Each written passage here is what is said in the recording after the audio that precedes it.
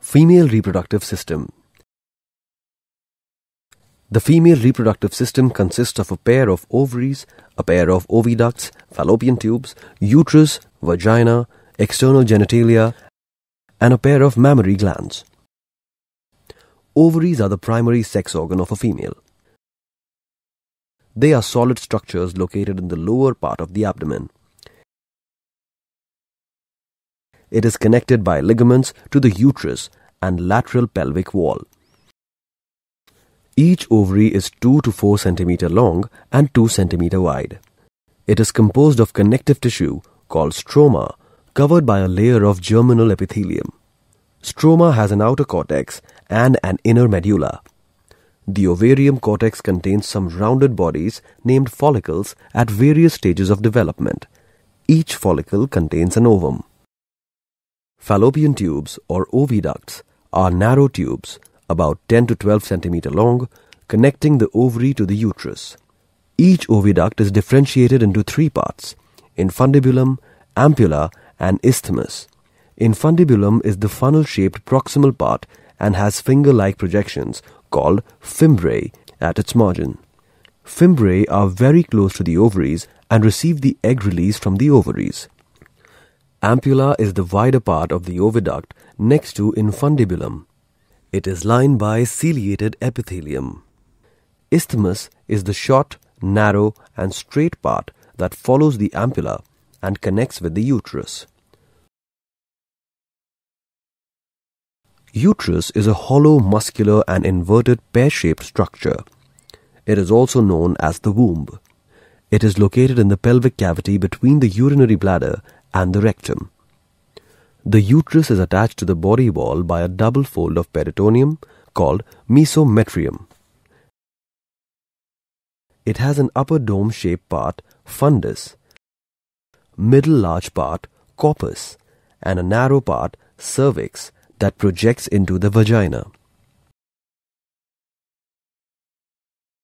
Implantation of embryo occurs in the uterine fundus. It is the site of fetal growth during pregnancy. The cervix is composed of powerful sphincter muscles. It is strong enough to hold the weight of the fetus and amniotic fluid against the pull of gravity during pregnancy.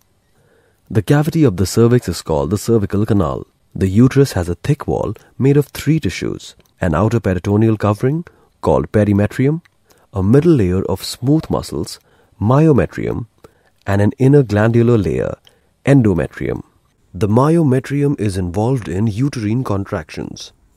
The endometrium undergoes cyclic changes during the menstrual cycle. Vagina is an elastic muscular tube about 7.5 meter long that connects the cervix of the uterus to the exterior of the body by the vaginal opening. The cervical canal along with vagina forms the birth canal. During menstruation, the menstrual flow exits the body via the vagina. Vulva is the collective name of female external genitalia located in the pubic region of the body. It includes vestibule, mons pubis, labia majora, labia minora, clitoris, and hymen. Vestibules is a small depression in front of the anus into which the urethra and vagina open separately. Mons pubis is a cushion of fatty tissue on either side of the vestibule covered by skin and pubic hair. The labia majora is the interior portion of the mons pubis which is split into right and left halves. It is homologous of the scrotum. The labia minora are a pair of hairless fleshy folds of tissue inner to the labia majora that surrounds the vaginal opening. The clitoris is a small solid erectile organ that lies at the anterior junction of labia minora. This is homologous to the penis. The vaginal opening is covered partially by a membrane called hymen. A slit in the hymen allows menstrual flow to pass out of the vagina. A birth of Bartholin's gland is seen on each side of the vaginal opening.